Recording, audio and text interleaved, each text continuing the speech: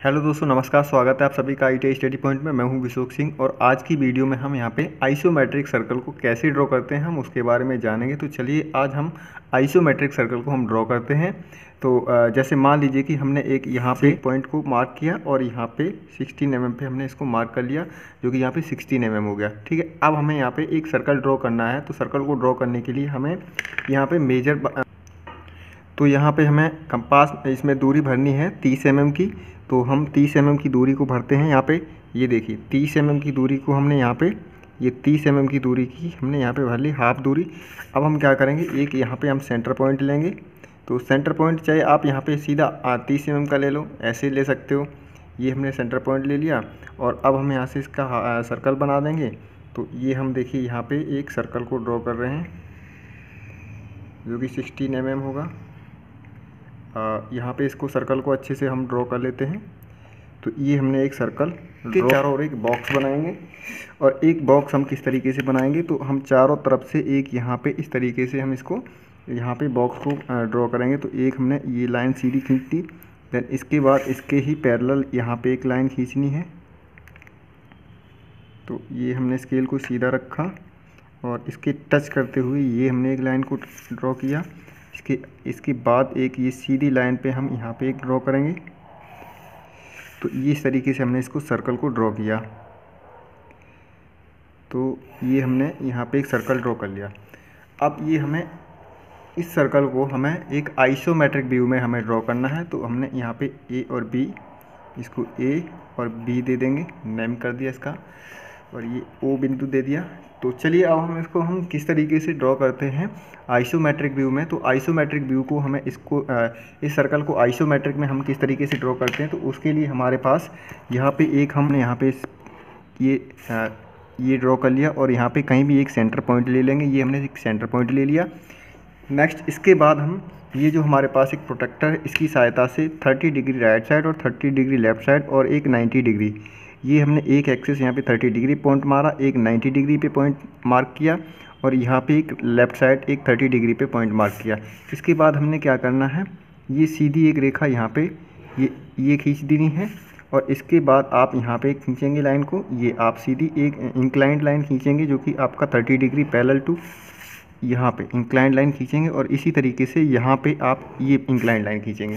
तो अब आप देख पा रहे हैं, ये हमने एक आइसोमेट्रिक या इस वाले भी प्लेन में ड्रॉ कर सकते हैं और इस प्लेन में भी ड्रॉ कर सकते हैं। तो दोनों में हम यहाँ पे ड्रॉ करके दिखाएँगे आइसोमेट्रिक सर्कल व्यू तो चलिए हम हैं। तो ये देखिए, हमने यहाँ पे एक पहले 90 डिग्री वाला जो हमने यहाँ पे इस पर साठ एम मार्क किया। नेक्स्ट हम यहाँ पे एक साठ एम मार्क करेंगे, ये। जो कि बाई एक्सिस वाला। यहाँ पे साठ एम मार्क किया। अब इसके बाद हम क्या करेंगे? ये हमारा एक सेट स्क्वायर है और इसकी सहायता से हम क्या करेंगे? यहाँ पे भी 60 एम mm की, यानी पैरेलल टू ये आपका एक्स एक्सिस है, ये वाई एक्सिस है और ये जेड एक्सिस है। तो पैरेलल टू वाई एक्सिस हम यहाँ पे यहाँ पे एक लाइन को ड्रा करेंगे जो कि आपका 16 एम mm का होगा। तो चलिए हम यहाँ पे 16 एम mm की लाइन को हमने ये ड्रॉ कर रहे हैं। तो ये हम पॉइंट हमने जहाँ मार्क किया था, यहाँ पे हम इसको सेट स्क्वायर को लेके जाएँगे और हमने यहाँ पे एक लाइन को ड्रॉ कर लिया। ये हमने लाइन को ड्रॉ किया। इसके बाद हमें 16 एम mm की लाइन को हमें मार्क करना है। 16 एम mm हमें यहाँ पे लेना है। तो ये हमने दोस्तों यहाँ पे ये ले लीजिए आप, यहाँ से आपने 16 एम mm यहाँ मार्क किया। ये 16 एम mm हो गया, यहाँ से लेकर के ये 16 एम mm हो गया। देन इसके बाद आप चाहो तो सीधा सीधा ये हमने 16 एम mm का मार्क लगा रखा था तो आप यहाँ पे इस पॉइंट टू पॉइंट को मिला सकते हैं। तो डायरेक्टली हम यहाँ पे इसको मिला दिया ये।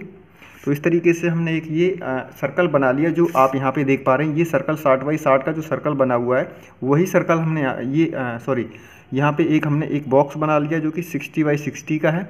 अब अब हमें क्या करना है? अब हम ये करेंगे इस पॉइंट को ये जो बड़ा डायगोनल है इसको हम यहाँ पे मिला देंगे।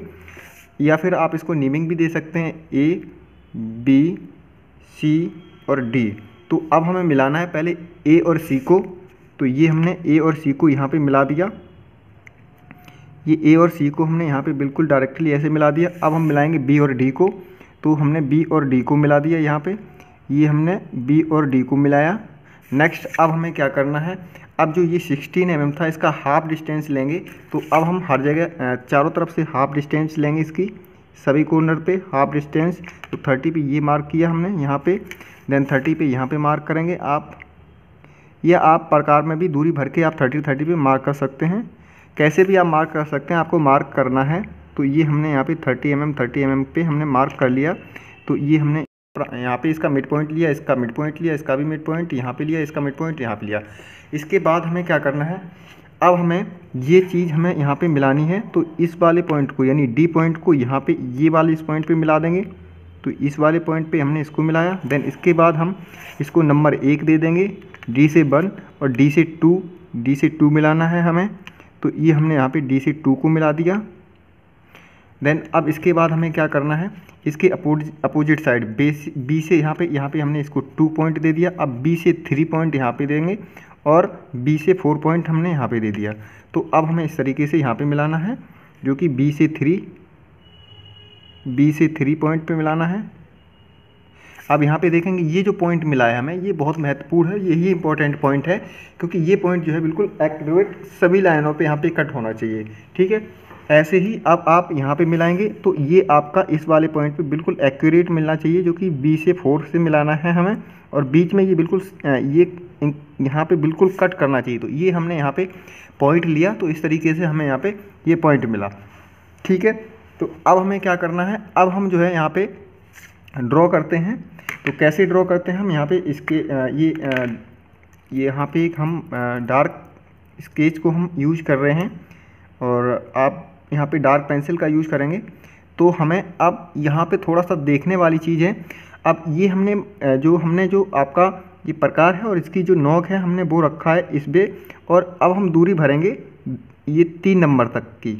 तो ये तीन नंबर यहाँ पे और इधर चार नंबर ये मिलाएँगे। तो अब देखेंगे हमने क्या किया। यहाँ पे इसकी नोक रखी और यहाँ से इतनी दूरी भरी ये। देन यहाँ पे इससे मिलाएँगे। तो अब एक आर्क लगाएँगे जो कि आप फोर से थ्री तक आर्क लगाएँगे। ये हमने फोर से थ्री तक आर्क लगा लिया। देन इसके बाद आपको क्या करना है, यहाँ पे डी पे पॉइंट पे नोक रखेंगे प्रकार की और अब आप देखेंगे, ये हमने वन पे देखेंगे। ये यहाँ पे वन पे आ रहा है हमारा और इधर टू पे आ रहा है। तो एक वन से टू तक का आर्क लगाएँगे। ये हमने एक वन से टू तक का आर्क लगा लिया। ठीक है? अब इतना हो गया हमारा। इसके बाद हमें क्या करना है? इसके बाद दोस्तों, अब हम ये जो हमारा प्रकार है, इसका जो हम, जो है, जो पॉइंट है, वो हम रखेंगे इस वाले पॉइंट पे। ठीक है? और दूरी हम कितनी लेंगे? तो दूरी हम इतनी लेंगे। इस वाले जितनी, तीन पॉइंट ये दूरी हमने ली। इतनी, ठीक है? और ऐसे एक आर्क लगाएँगे जो कि आपका, यहाँ पे बिल्कुल आप एग्जैक्ट सही से नाप लें। तो ये हमने इसकी दूरी पे यहाँ पे आर्क लगाया। ये देखिए, ये आर्क कंप्लीट हो गया। और ऐसे ही आप इधर इस वाले पॉइंट पे रखेंगे और यहाँ पे ऐसे एक आर्क लगाएँगे। तो ये आप यहाँ पे थोड़ा सा बिल्कुल इसको मैच कर लें यहाँ पे। तो ये आप इधर भी देख लें। यहाँ पे बिल्कुल मैच कर रहा है। अब आप आर्क लगा देंगे। तो ये आपने यहाँ पे ये आर्क लगा दिया। तो अब आप देख पा रहे हैं यहाँ पे ये ये आइसोमेट्रिक सर्कल यहाँ पे, यहाँ कम्प्लीटली ड्रॉ हो चुका है और आप यहाँ पे देख सकते हैं तो ये आइसोमेट्रिक जो कि 16 बाई 60 60 बाई 60 का ये हमने आइसोमेट्रिक सर्कल को ड्रॉ कर लिया है। तो आई होप ये आपको बिल्कुल समझ में आ गया होगा और जिन लोगों को नहीं समझ में आया, वो कमेंट बॉक्स में कमेंट करके ज़रूर बताएँ। यहाँ पे चीज़ों को आप देखना है, क्या करना है। पहले आप यहाँ पे 16 बाई 16 का एक यहाँ पे आप, ये आप स्क्वायर बनाएँगे। ये आप रेक्टेंगल बनाएँगे यहाँ पे, ये।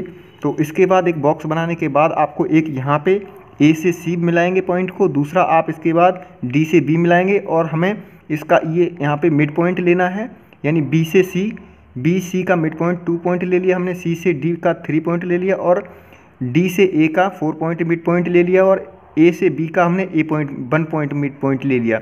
अब हमने प्रकार की नोक को यहाँ रखा। जैसे कि आपको हम यहाँ पे बता दे रहे हैं, एक बार फिर से प्रकार की नोक को हमने यहाँ रखा और डिस्टेंस भरी तीन नंबर की, ये, और हमने एक सीधा आर्क लगाया, ये सीधा आर्क लगाया, इसके बाद यहाँ पे हमने इसको रखा, प्रकार की नोक को और सीधा इधर आर्क लगाया देन इसके बाद हमने इस पॉइंट को हमने यहाँ रखा, ये, और हमने यहाँ से आर्क लगाया, जो कि आपका ऐसे आया, और दूसरा यहाँ से हमने इस पॉइंट को यहाँ रखा, यहाँ आर्क लगाया। तो इस तरीके से ये कम्प्लीटली यहाँ पे आपका तैयार हो जाता है। जो कि आपको दिखाई दे रहा होगा। ये आपका कम्प्लीटली यहाँ पे तैयार हो गया है, यानी 60 एम का ये सर्कल जो कि आइसोमेट्रिक सर्कल बोलते हैं इसको। थैंक यू फॉर वॉचिंग मिलते हैं नेक्स्ट वीडियो तब तक के लिए धन्यवाद। जय हिंद, जय